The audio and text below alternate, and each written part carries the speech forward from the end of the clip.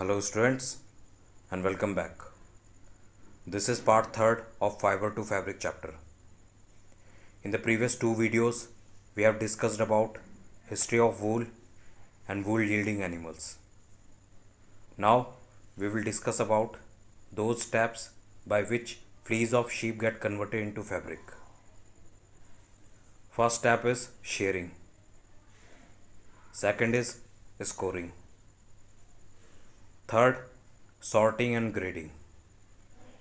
Next, dyeing or coloring of wool. And last step is rolling and spinning. So these are the steps for the production of wool. Now let's discuss these steps in detail. First step is shearing. Students, as you can see in the given clip also, this is the process of removing fleece of sheep along with thin layer of its skin. In older days, metal blades were used to trim the hair. But nowadays, machines are used for this process. It is similar like we get cutting of hair or shave. That's why shear in hot climate does not hurt sheep. Now, these animals bear two types of hair. One, outer coats bear hair are called camp and fine soft under hair are called fleece. Fleece is found close to the skin and used to obtain wool. Now look at this picture. This is called selective breeding which is a process to obtain animals or plants having desired or special characteristics. That means two sheep of good characteristics are selected for the production of new young virgin lamb. Shearing process के बाद जो fleece collect होती है, उसे बड़े बड़े tanks and machines की help से वॉश किया जाता है। जिसमें फ्लीस की डर्ट एंड ग्रीस को रिमूव करके उसे सुखाया जाता है। सुखाने के बाद हमें अलग अलग टेक्सचर की फ्लीज मिलती है। जिसे सॉर्टिंग एंड ग्रेडिंग की प्रोसेस में टेक्सचर के अकॉर्डिंग अलग अलग किया जाता है। Something like these pictures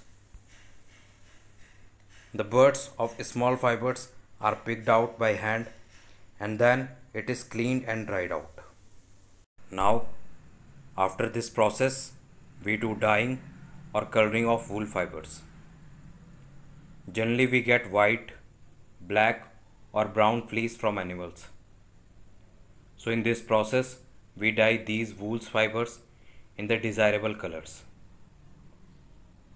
After coloring, now it's time to straighten, combed, and rolled the fibers in the process of carding.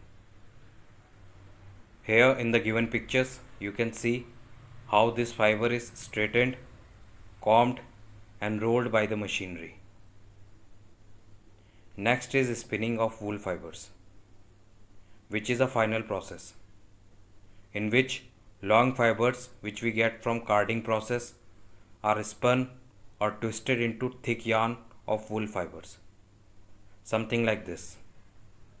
This is a takli instrument and you can see how fine yarn is twisted and converted into wool. Today, this process is performed by machinery. And after all these processes, this is how we get wool. With different quality, different texture and different color. So this was all about the steps in the production of wool fiber. In our next class, we will study about silk.